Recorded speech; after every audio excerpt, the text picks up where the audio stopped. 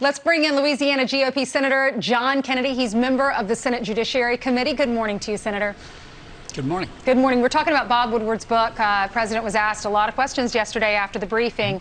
Uh, there were 31 questions. 20 of them were about those recordings. What's your reaction to how the media is handling this? I would make I would make three points. Number one, when I feel inadequate in Washington D.C., I just look around. there uh, there are a lot of people up here that see life as a zero-sum game. In other words, to advance, they've got to tear somebody down. I, I guess the point I'm trying to make is I, I, these gotcha books don't interest me a lot. Uh, there'll be a new one out tomorrow anyway. Uh, number two, we know the president pretty well by now.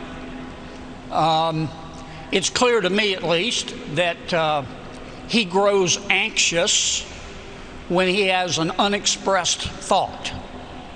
Now, that may be an endearing quality for a human being, but it's very dangerous when you're a politician talking to a reporter.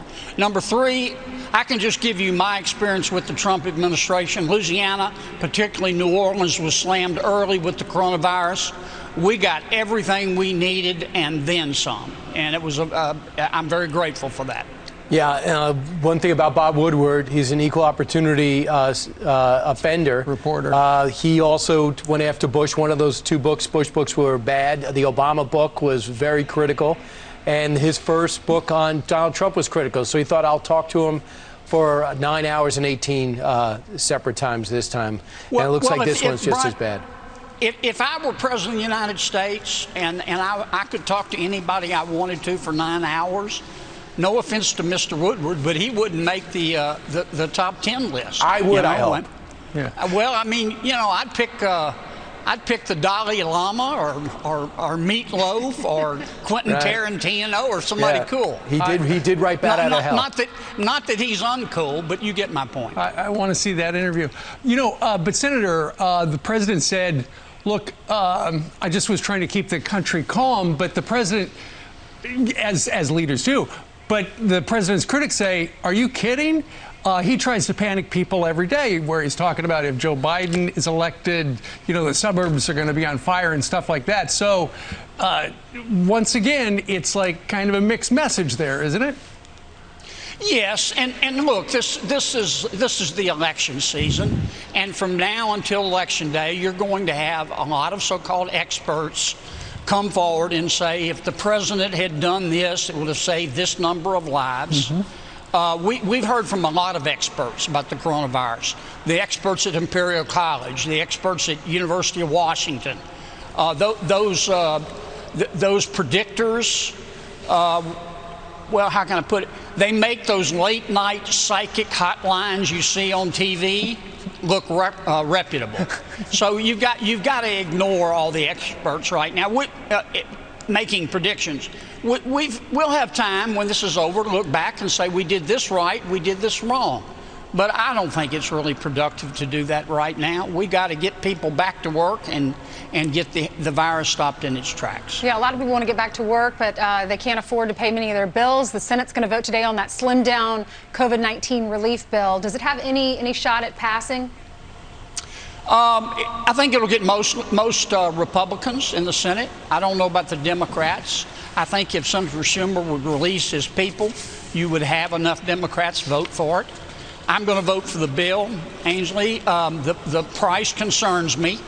Uh, if we keep spending money at the rate we're spending it, we're going to run out of digits. Having said that, government did this to business, government did this to people. Uh, government shut them down, and they need help.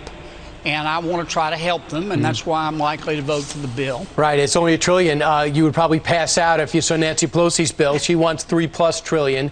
Meanwhile, she had a prediction right. yesterday. You mentioned the Psychic uh, Friends Network. She looked into the future, and this is what she sees.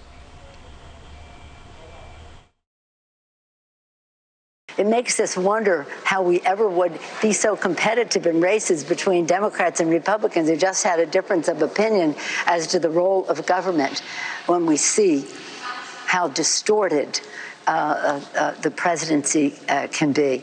Uh, I'm really excited about Joe Biden. I think he's going to be a great president. I never saw any hatred coming uh, from Kamala Harris, and neither did the president. But he's always projecting his negative attitudes uh, onto other people. But it won't be long. In eight weeks, we'll be celebrating uh, the election of Joe Biden and Kamala Harris, a Democratic Senate, a strengthened Democratic House of Representatives. Well, what do you think? A blue wave? You might not even, uh, there might be, not be any Republicans left. Well, how can I put this?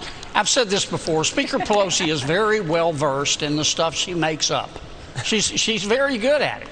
I, it's going to be a close election, Brian. I mean, it just is. Yeah. And uh, I'm going to trust the American people on this. Doesn't she have I, to do say think that, that though? both.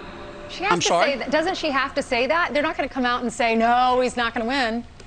Yeah, I mean, she's not going. Neither she nor Chuck Schumer are going to stand up and say, uh, "Geez, we're going to get the living hell beat out of us here if we don't if we don't pass a bill and start acting like uh, responsible adults." She's not going to say that. Senator, we always enjoy having you on. You got so many uh, great answers to our great questions.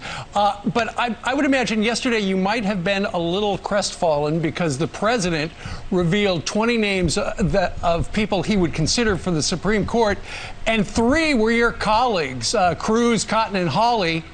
You're a lawyer. You're not on the list. I'm sorry. Well, uh, I, I didn't think of it that way. Look, let me let me let me say let me say this about about Ted and Josh and Tom. They're legal rock stars. Uh, I know most of the people on the list, not all of them. I, I, I could vote for any one of them. There's some people who aren't on the list that I could support. Um, Bill Barr, uh, Mike Lee in the Senate, uh, Marco Rubio in the Senate, Pat Cipollone, White House counsel to the president, uh, Don McGahn. Uh, there are a lot of good folks to choose from. I'm looking for somebody who's not a politician in robes, Right. who understands the role of the judiciary, which is to tell us what the law is, not what they think the law ought to be. And, and, and I don't want somebody on the Supreme Court who's going to try to rewrite the Constitution every other Thursday to advance some political or social agenda. That's what I'm looking for. And I, I think the president's list uh, and the, the names I just suggested, respectfully, I think they all qualify. Mike Lee was on that original list, and this is just an addition to his original Yeah. list in, in the past. All right, thank I can't hear you, Ainsley. I'm sorry. No, that's it. Let's try it again. okay? My, Thank my earpiece fell out. It's I got I was so just excited. a- Well, then this is a good place to end the interview. Just saying.